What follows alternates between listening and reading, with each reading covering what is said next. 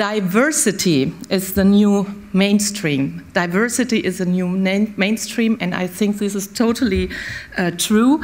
Everyone is an integration actor. Everyone in the cities is an integration actor. So therefore, we will have this afternoon actors from a variety of all sectors, and um, we will share their experience.